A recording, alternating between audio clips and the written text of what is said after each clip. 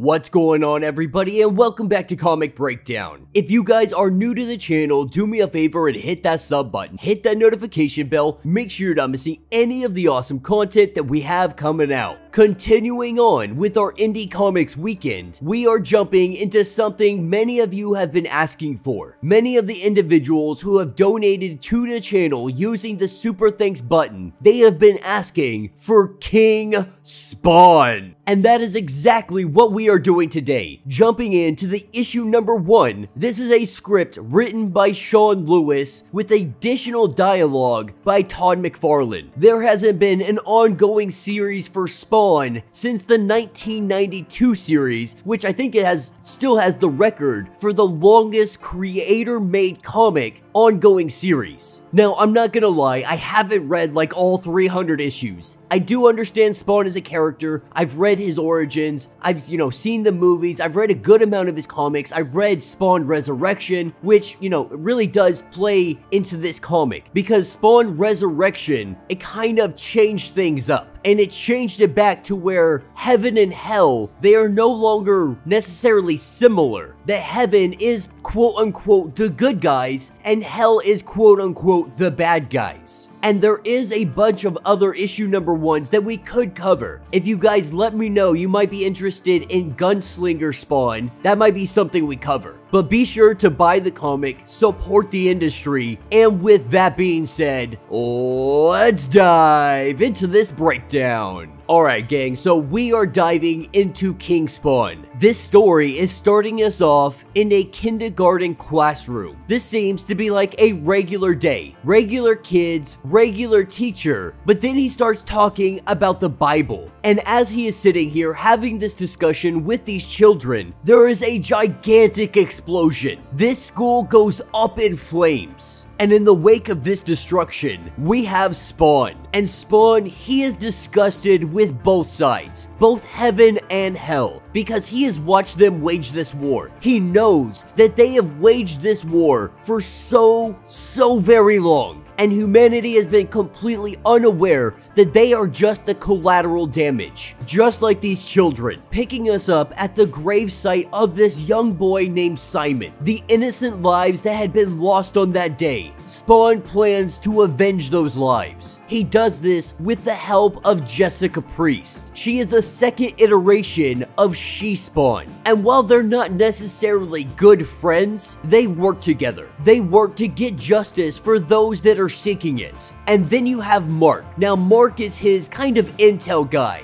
If Spawn is gonna go out here and help the world, he needs somebody back at home doing the research. And that's where Mark comes into play. He is our research guy. He is the one that gets all of the intel that Spawn needs. And right now, what they are trying to investigate is who did this. What was the purpose of this? What message were they trying to send? And while his team has checked and rechecked over and over and over again, the truth is he doesn't care. He's gonna make them check again and again until they find something. Because right now, that mother, she is mourning the death of her innocent child. Moreover, he knows that this has something to do with him. This was a message, one that was directed directly at Spawn, because in the rubble, he found what he calls a sigil. And that symbol, it tells the whole prophecy of what the person behind this is planning. Now they just need to figure out how to decipher it. Spawn only being able to read a little bit of it. Part of it does say this won't be the only attack. And so as Spawn continues on his investigation, there is one thing that we do have to recognize. Now, Spawn, he essentially shut off the gates from heaven and hell. And so if you were a demon or an angel that was on this plane of existence, you are now stuck here. Spawn knowing that there is a list of individuals that are stuck here, all he has to do is track down those files, find out who's here, and one by one find out who this might be. Because whoever it is, they are sending this message to Spawn. They are taunting him. They are calling him in. And while they're not revealing themselves, they are using children just as ploys to send him messages. Spawn needing to get that information, he drops in on a senator. Now this senator comes from heaven. Knowing this guy is gonna have the information he wants, he also finds that this this angel, if you will, is sitting right here with a demon. And Spawn tells them that if you don't want your lover killed, you're gonna give me the information I want, telling him to decipher exactly what this sigil means. What this means is Metatron, and this throws Spawn off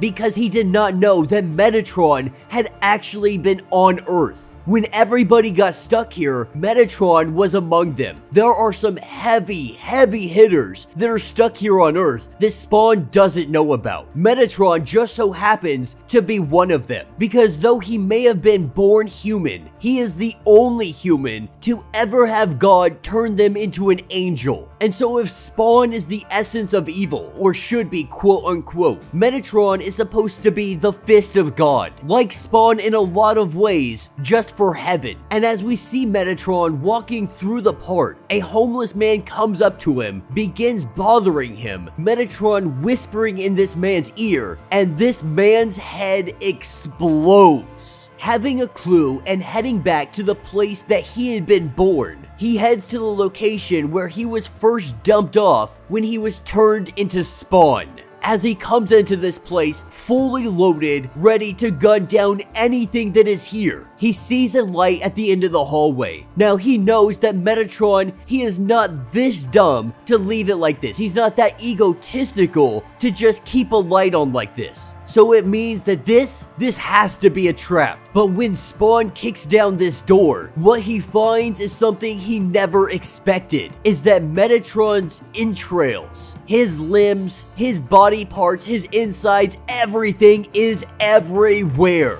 as if he had just exploded in his chair. Spawn is in complete disbelief. Because if there is something strong enough out here to kill Metatron, what the heck is it? And that is what takes us 200 miles north of Brooklyn. We have religious zealots currently singing mantras and saying scripture as they begin to continue talking about smashing the heads of the little ones. Their leader lets the flock know that all of this every body that they are leaving behind them. They will stack them as tall as a mountain. They will lead Spawn directly to them. Because when King Spawn reveals himself, they are going to deliver him with all the glory and all the punishment. The glory and punishment that they believe he so richly deserves. Saying all hail King Spawn.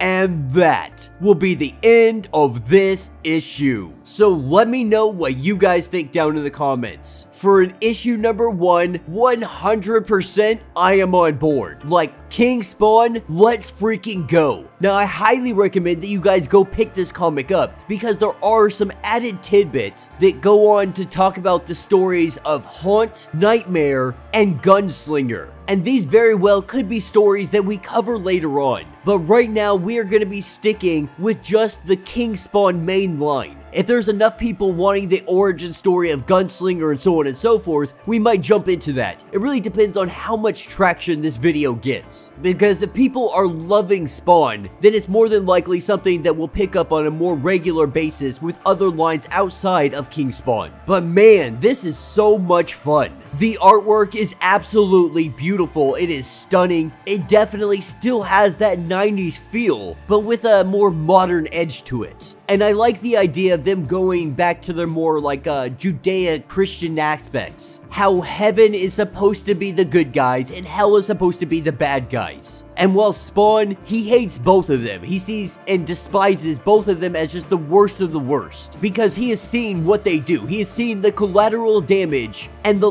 lives, the innocent lives lost in the wake of this war. And I will not be reading ahead, so I don't know what's going to be happening. I'm not reading solicitations, I'm not checking out spoilers, so every time we jump into an issue and we cover it here on the channel, it is going to be brand new to me, as well as many of you that have not read this comic yet. But yeah, let me know what you guys think down in the comments. Let me know your thoughts. Let me know your theories. If you would like to support the channel, you can always donate by hitting the super thanks button. It will let you donate directly to the channel and it greatly, greatly helps us out. If you can't do that, be sure to hit that sub button, hit the notification bell, like this video, and until the next breakdown.